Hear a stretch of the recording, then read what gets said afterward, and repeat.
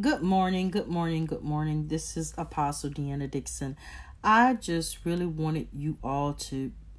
This is such a blessing hearing this man. I really don't know him, but the way that he's talking and what he is saying is so powerful. And let me tell you something this is not just for men. I want you to switch what he's saying also for women. This was very powerful. It's only three minute clip, but Oh my God.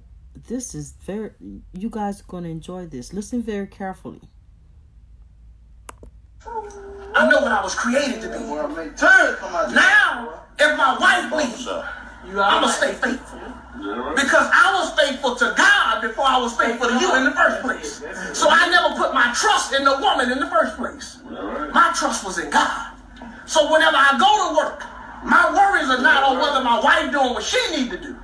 Can they make sure you in line? Because that's where your help comes from in the first place. See, we have a relationship with people before we have relationship with God. And we wonder why we always fall flat on our face. Because I could call your phone, you may not answer. And I have an issue with you. But I should never be trying to depend on you to do anything for me in the first place. When God is my source.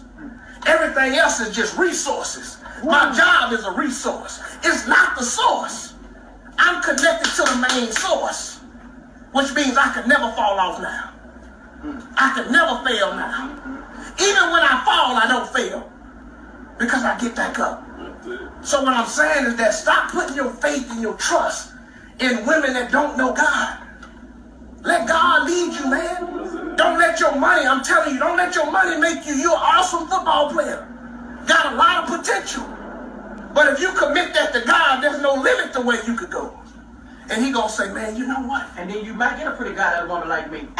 Let me let me sin. Let me sin. Cause see, this is how the world works. Everybody got Russell Wilson. Everybody got Ciara. Everybody thought that she was supposed to be with this this this music industry, but she met a man. Mm-hmm. Listen to what I'm saying. Future, he's a boy, yes, pretending to be a man. She met a man and said, I'm going to make you better. Because when you get with me, you're supposed to be better. My wife is much better than she could have ever been. Hello, kid. Because of me. In my relationship with God. So you make a woman better not by what you buy, but by who she become. And then when, and then when you see that woman say, "Oh, I'll follow you anywhere." When you see that woman say, "You know what? Oh, you the man of my marriage," because I've been in that life, bro. I've seen that life, bro. And I'm telling you, like most people that are in church now, and I and I and I say this with all sincerity, they don't have a relationship with Christ. That's why whenever they leave church, they can live a double life.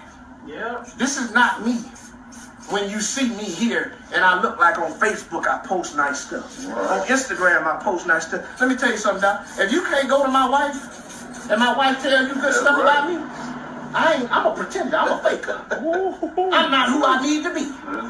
If my wife don't speak good of me because she know me more than you. If my kids don't love me. You see what I'm saying? We got to make sure the inside is straight first. That's the big thing, man.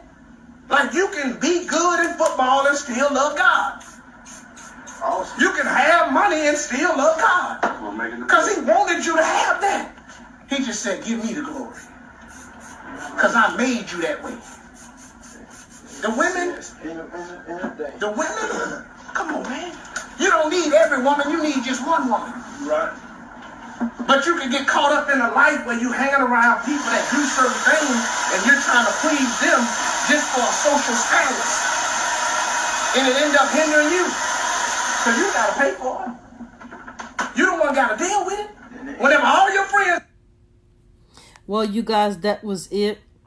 I just thought it was very powerful, you guys, very powerful. And I just wanted to share it with you guys. Anytime there's knowledge, wisdom going forth, I would make sure that you guys get it because and it even if it don't come from me, it's about it's about just making us all better. That's all. Not bitter, but better.